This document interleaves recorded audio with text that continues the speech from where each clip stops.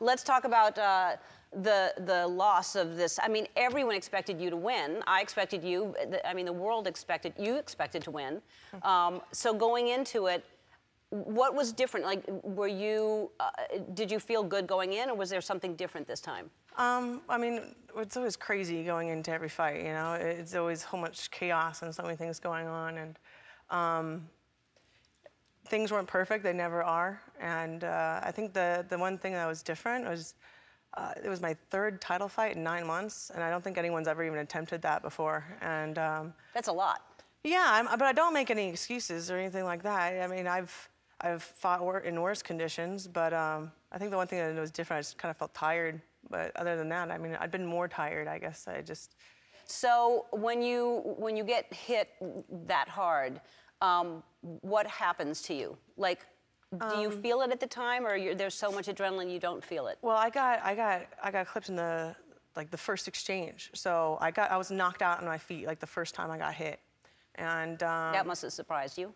Well, I, it's, it's hard to really know what's going on. And so um, in that first hit, I cut open my whole mouth and I knocked my teeth loose.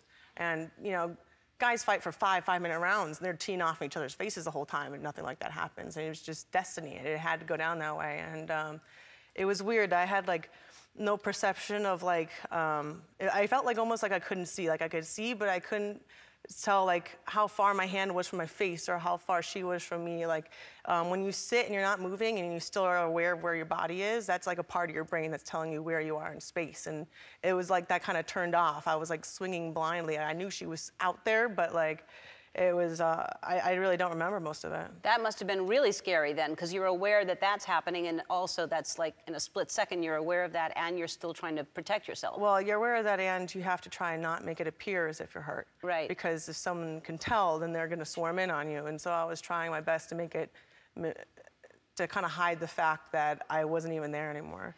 Um, so do you have, like, how long does a headache last after you're hit like that? Do you have a headache still? No.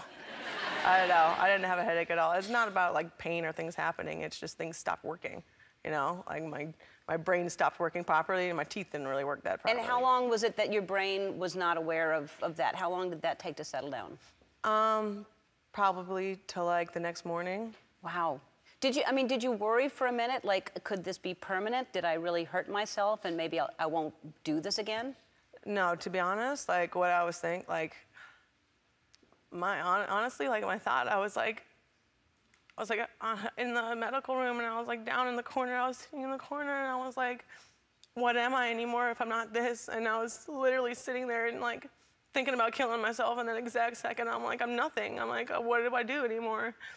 And no one gives a shit about me anymore without this. And um, to be honest, I looked up and I saw my man, Travis, was standing there, and I was looked up at him and I was just like, I need to have his babies. I need to stay alive. that was like, really, that was You it. need to stay alive. and uh, I hadn't told anybody that. I think I only told him that. Um, but that was like what I was thinking. Like, I, I was meant to have him when, when I was at my lowest for sure. Yeah. I don't know if I would have made it without him. To have that support system, sure. Um, that that makes it breaks my heart to hear. I mean, uh, anybody looking at you, you're such a brave woman in so many ways, and so obviously strong physically and, and, and mentally to do what you do. So to hear you say that. I actually think it's a really great thing, and I'm grateful that you did say that because there are a lot of people out there that have thoughts like that and they're they're looking at you going, wow, if she can have thoughts like that. Um, so you just did a lot of good for a lot of people. So thank you for saying that. well, you know, I, I, I did.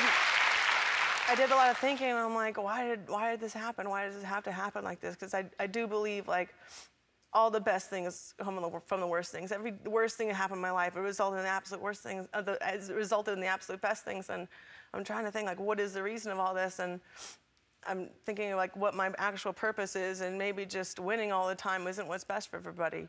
And I felt like maybe my role is, uh, you know, everyone has their moment of picking themselves off the floor, and I'd gone through several of mine, but no one had, had actually seen me go through it, and maybe I just had to be that example of picking myself off the floor for everyone, and maybe that's what I'm meant for.